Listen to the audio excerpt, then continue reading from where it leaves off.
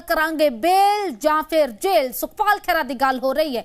MLA Sukhpal Khaira, ਜੋ ਕਿ ਨਿਆਂ ਹਿਰਾਸਤ ਦੇ ਵਿੱਚ ਨੇ, ਨਾਭਾ ਦੀ ਜੇਲ੍ਹ ਦੇ ਵਿੱਚ ਬੰਦ ਰਹੇ। 2015 ਐਨਡੀਪੀਐਸ ਮਾਮਲੇ ਦੇ ਵਿੱਚ ਉਹਨਾਂ ਦੀ ਗ੍ਰਿਫਤਾਰੀ ਹੋਈ ਹੈ। ਤੇ ਅੱਜ ਸੁਖਪਾਲ ਖਹਿਰਾ ਦੇ ਮਾਮਲੇ ਨੂੰ ਲੈ ਕੇ ਦੋ ਕੋਰਟਾਂ ਦੇ ਵਿੱਚ ਸੁਣਵਾਈ ਹੋਏਗੀ। ਪਹਿਲੀ ਸੁਣਵਾਈ ਪੰਜਾਬ ਹਰਿਆਣਾ ਹਾਈ ਕੋਰਟ ਦੇ ਵਿੱਚ ਹੋਏਗੀ ਤਾਂ ਦੂਜੀ ਸੁਣਵਾਈ ਜਲਾਲਾਬਾਦ ਕੋਰਟ ਦੇ ਵਿੱਚ ਹੋਏਗੀ। ਪੰਜਾਬ ਹਰਿਆਣਾ ਹਾਈ ਕੋਰਟ ਦੇ ਵਿੱਚ ਬੀਤੇ ਦਿਨੀ ਸੁਖਪਾਲ ਖਹਿਰਾ ਦੀ ਪਟੀਸ਼ਨ ਤੇ ਸੁਣਵਾਈ ਹੋਈ ਸੀ। ਸੁਖਪਾਲ ਖਹਿਰਾ ਨੇ ਆਪਣੀ ਗ੍ਰਿਫਤਾਰੀ ਨੂੰ ਗੈਰ ਕਾਨੂੰਨੀ ਦੱਸਦਿਆਂ ਅਰਜ਼ੀ ਦਾਖਲ ਕੀਤੀ।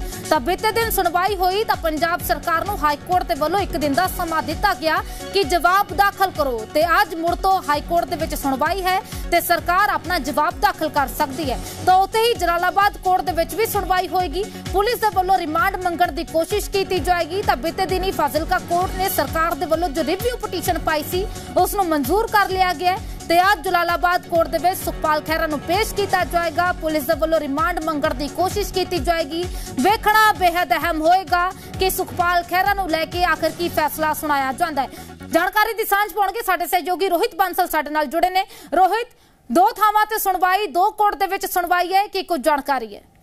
ਆ ਜੀ, ਬਿਲਕੁਲ ਜੇਕਰ ਪਹਿਲਾਂ ਫਾਜ਼ਿਲਕਾ ਕੋਰਟ ਦਾ ਜ਼ਿਕਰ ਕੀਤਾ ਜਾਵੇ ਤਾਂ ਫਾਜ਼ਿਲਕਾ ਕੋਰਟ ਦੇ ਵਿੱਚ ਅੱਜ ਜਿੱਥੇ ਪੁਲਿਸ ਦੇ ਵੱਲੋਂ ਇੱਕ ਵਾਰ ਫਿਰ ਤੋਂ ਰਿਵਿਊ ਪਟੀਸ਼ਨ ਪਾ ਕੇ ਜਿਹੜਾ ਰਿਮਾਂਡ ਦੀ ਮੰਗ ਕੀਤੀ ਜਾਏਗੀ, ਜਿੱਥੇ ਸਤਪਾਲ ਸਿੰਘ ਖਹਿਰਾ ਨੂੰ ਨਿਆਇਕ ਹਿਰਾਸਤ ਦੇ ਵਿੱਚ ਭੇਜ ਦਿੱਤਾ ਸੀਗਾ, ਪਰ ਇੱਕ ਦੂਜੇ ਪਾਸੇ ਪੁਲਿਸ ਦੇ ਵੱਲੋਂ ਜਿਹੜਾ ਪੁਲਿਸ ਰਿਮਾਂਡ ਦੀ ਮੰਗ ਆ, ਉਹ ਕੀਤੀ ਜਾ ਰਹੀ ਸੀ। ਤਾਂ ਅੱਜ ਨਿਆਇਕ ਹਿਰਾਸਤ ਦਾ ਜਿਹੜਾ ਸਮਾਂ ਹੈਗਾ, ਉਹ ਪੂਰਾ ਹੋ ਰਿਹਾ, ਜਿਹਦੇ ਵਿੱਚ ਇੱਕ ਵਾਰ ਫਿਰ ਤੋਂ ਕੋਰਟ ਦੇ ਵਿੱਚ ਭੇਜ ਕੀਤਾ ਜਾਏਗਾ। ਪੁਲਿਸ ਦੇ ਵੱਲੋਂ ਮੰਗ ਇਹੀ ਹੋਏਗੀ ਕਿ ਉਹਨਾਂ ਨੂੰ ਹੋਰ ਰਿਮਾਂਡ ਚਾਹੀਦਾ, ਕਿਉਂਕਿ ਬਹੁਤ ਸਾਰੀਆਂ ਚੀਜ਼ਾਂ ਦੀ ਰਿਕਵਰੀ ਕਰਨੀ ਹੁੰਦੀ ਹੈ ਬਹੁਤ ਸਾਰੀਆਂ ਬਾਬਤ ਪੁੱਛਗਿੱਛ ਕਰਨੀ ਹੁੰਦੀ ਹੈ ਜੀ ਤਾਂ ਇਸ ਦੇ ਲਈ ਜਿਹੜੀ ਰਿਮਾਂਡ ਦੀ ਮੰਗ ਆ ਉਹ ਕੀਤੀ ਜਾਏਗੀ। ਦੂਜੇ ਪਾਸੇ ਸਤਪਾਲ ਸਿੰਘ ਖਹਿਰਾ ਇਸ ਪੂਰੇ ਦੇ ਪੂਰੇ ਮਾਮਲੇ ਨੂੰ ਗੈਰ ਕਾਨੂੰਨੀ ਕਹਿ ਰਹੇ ਨੇ। ਉਹਨਾਂ ਦਾ ਕਹਿਣਾ ਹੈ ਕਿ ਜਿਹੜੀ ਸੁਪਰੀਮ ਕੋਰਟ ਦੇ ਨਿਰਦੇਸ਼ ਸੀ ਉਹਨਾਂ ਦੀ ਪਾਲਣਾ ਨਹੀਂ ਕੀਤੀ ਗਈ। ਸੁਪਰੀਮ ਕੋਰਟ ਦੇ ਆਦੇਸ਼ਾਂ ਤੋਂ ਉਲਟ ਜਾ ਕੇ ਜਿਹੜੀ ਇਹ ਗ੍ਰਿਫਤਾਰੀ ਹੋਈ ਆ ਅਜਿਹੇ ਦੇ ਵਿੱਚ ਇਸ ਕੇਸ ਨੂੰ ਰੱਦ ਕੀਤਾ ਜਾਵੇ ਔਰ ਇਸ ਆ ਜਿਹੜੀ ਚਲੀਏ ਕਿ ਗ੍ਰਿਫਤਾਰੀ ਨੂੰ ਗੈਰ ਕਾਨੂੰਨੀ ਚਾਰਜ ਜਿਹੜਾ ਅਖਿਆਰ ਹੈਗਾ ਉਹ ਕੀਤਾ ਜਾਵੇ। ਇਸ ਦੇ ਬਾਬਤ ਪੰਜਾਬ ਸਰਕਾਰ ਤੋਂ ਜਵਾਬ ਤਲਬੀ ਵੀ ਕੀਤੀ ਗਈ ਹੈ। ਤਾਂ ਅੱਜ ਪੰਜਾਬ ਸਰਕਾਰ ਦੇ ਵੱਲੋਂ ਹਾਈ ਕੋਰਟ ਦੇ ਵਿੱਚ ਇਸ ਦੇ ਜਿਹੜਾ ਸੰਬੰਧਿਤ ਜਵਾਬ ਦਾਖਲ ਕੀਤਾ ਜਾਏਗਾ ਕਿ ਸੁਖਪਾਲ ਸਿੰਘ ਖਹਿਰਾ ਨੂੰ ਕਿਉਂ ਔਰ ਕਿਵੇਂ ਗ੍ਰਿਫਤਾਰ ਕੀਤਾ ਗਿਆ ਤੇ ਜੇਕਰ ਹਾਈ ਕੋਰਟ ਇਸ ਤੋਂ ਸੰਤੁਸ਼ਟ ਹੁੰਦੀ ਹੈ ਨਹੀਂ ਇਹ ਵੀ ਦੇਖਣਾ ਹੋਏਗਾ ਪਰ ਇਸ ਮਾਮਲੇ ਦੇ ਵਿੱਚ ਅੱਜ ਸੁਣਵਾਈ ਹੋਏਗੀ ਨਾ ਉਸ ਤੋਂ ਬਾਅਦ ਹੀ ਕੀ ਚੀਜ਼ਾਂ ਵਾ ਉਹ ਵੀ ਤੁਹਾਡੇ ਤੱਕ ਪਹੁੰਚਾਵਾਂਗੇ ਬਿਲਕੁਲ ਬਿਲਕੁਲ ਰੋਹਿਤ, ਇੱਕ ਸਵਾਲ ਜਾਂਚ ਨੂੰ ਲੈ ਕੇ ਲਗਾਤਾਰ ਉੱਠ ਰਿਹਾ ਸੀ ਕਿ ਆਖਰ ਇਸ ਪੂਰੇ ਮਸਲੇ ਦੀ ਜਾਂਚ ਲਈ ਐਸਆਈਟੀ ਕਦੋਂ ਬਣਾਈ ਗਈ।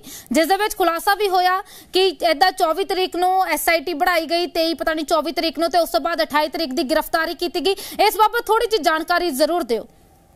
ਅੱਜ ਬਿਲਕੁਲ ਜੇਕਰ ਇਸ ਮਾਮਲੇ ਦੇ ਵਿੱਚ ਜ਼ਿਕਰ ਕੀਤਾ ਜਾਵੇ ਤਾਂ ਜਦੋਂ ਫਾਜ਼ਿਲਕਾ ਕੋਰਟ ਦੇ ਵੱਲੋਂ ਅਪ੍ਰੈਲ ਮਹੀਨੇ ਦੇ ਵਿੱਚ ਜਿਹੜੇ ਬਾਕੀ ਦੇ ਨੌ ਲੋਕ ਸੀ, ਉਹਨਾਂ ਨੂੰ ਸਜ਼ਾ ਸੁਣਾ ਦਿੱਤੀ ਜਾਂਦੀ ਹੈ। ਪਰ ਨਾਲ ਹੀ ਕਿਹਾ ਜਾਂਦਾ ਕਿ ਇਸ ਕੇਸ ਦੀ ਜਿਹੜੀ ਪ੍ਰੋਸੀਡਿੰਗ ਆ, ਉਹ ਜਾਰੀ ਰੱਖੀ ਜਾਵੇ।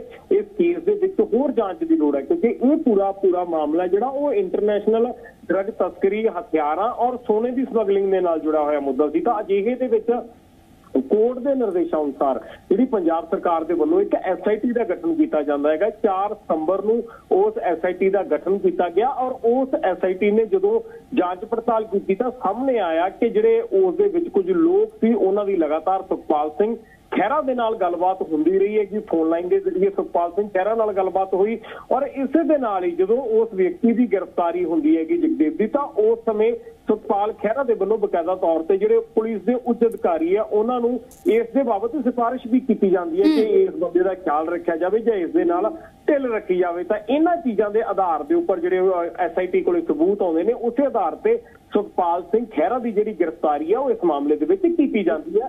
ਜਿਹੜਾ ਦਾਵਾ ਐਸਆਈਟੀ ਦੇ ਮੈਂਬਰ ਜਾਂ ਪੰਜਾਬ ਪੁਲਿਸ ਦੇ ਸੋਰਸ ਕਰਦੇ ਨਜ਼ਰ ਆਉਂਦੇ ਨੇ। ਠੀਕ ਠੀਕ ਹੈ, ਸ਼ੁਕਰੀਆ ਰੋਹਿਤ ਜਾਣਕਾਰੀ ਦੇਣ ਦੇ ਲਈ। ਸੋ ਇੱਕ ਵਾਰ ਫਿਰ ਤੋਂ ਆਪਣੇ ਦਰਸ਼ਕਾਂ ਨੂੰ ਦਸੀਏ ਕਿ ਅੱਜ ਸੁਖਪਾਲ ਖਹਿਰਾ ਦੀ ਅਰਜ਼ੀ ਤੇ ਹਾਈ ਕੋਰਟ ਦੇ ਵਿੱਚ ਸੁਣਵਾਈ ਹੋਏਗੀ। ਸੁਖਪਾਲ ਖਹਿਰਾ ਨੇ ਆਪਣੀ ਗ੍ਰਿਫਤਾਰੀ ਨੂੰ ਗੈਰ ਕਾਨੂੰਨੀ ਦੱਸਦਿਆਂ ਹਾਈ ਕੋਰਟ ਦੇ ਵਿੱਚ ਅਰਜ਼ੀ ਪਾਈ ਸੀ ਤੇ ਬੀਤੇ ਦਿਨੀ ਹਾਈ ਕੋਰਟ ਨੇ ਪੰਜਾਬ ਸਰਕਾਰ ਨੂੰ ਜਵਾਬ ਦੇਣ ਲਈ ਇੱਕ ਦਿਨ ਦਾ ਹੋਰ ਸਮਾਂ ਦਿੱਤਾ ਸੀ। ਤੇ ਅੱਜ ਹਾਈ ਕੋਰਟ ਦੇ ਵਿੱਚ ਜਵਾਬ ਤੋਂ ਕੀ ਪੰਜਾਬ ਸਰਕਾਰ ਦੇ ਜਵਾਬ ਤੋਂ ਹਾਈ ਕੋਰਟ ਸੰਤੁਸ਼ਟ ਹੋਏਗਾ ਜਾਂ ਫਿਰ ਹਾਈ ਕੋਰਟ ਵੀ ਇਸ ਇਸ ਗ੍ਰਿਫਤਾਰੀ ਨੂੰ ਗੈਰ ਕਾਨੂੰਨੀ ਮੰਨੇਗਾ, ਇਹ ਵੇਖਣਾ ਬੇहद ਅਹਿਮ ਹੋਏਗਾ।